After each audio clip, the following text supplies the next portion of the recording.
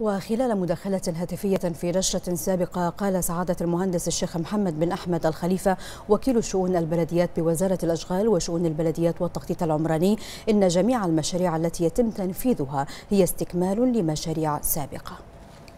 طبعا كل هذه المشاريع نستكمل ما بديناه من مشاريع سابقة حيث تم الانتهاء من تطوير عدد من التقاطعات والشوارع الرئيسية. كان آخرها تقاطع الفاروق بحلته الجديدة مع بداية هذا العام. أيضا هذه المشاريع الخمسة تشمل تطوير وتسيير عدد من التقاطعات مثل ما ذكرته والله يسلمك.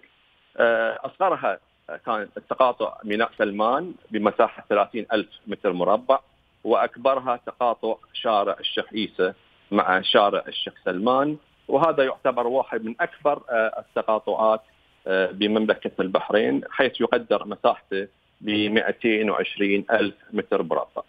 أيضا أود أن أشير هنا طبعا إحنا نعمل بالتنسيق مع المجلس الأعلى للبيئة في عمليه اختيار الأشجار والمزروعات الصديقة للبيئة، وهذا شيء مهم بالنسبة لنا إحنا بما يتناسب مع المناخ وأيضا تخفيض درجات الحرارة.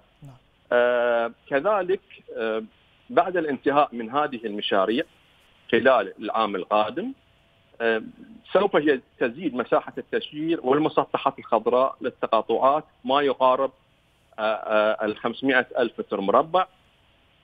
طبعا هذه كلها يأتي ضمن برنامج وخطة تسجير الأعوام 2021 لبرنامج عمل الوزارة.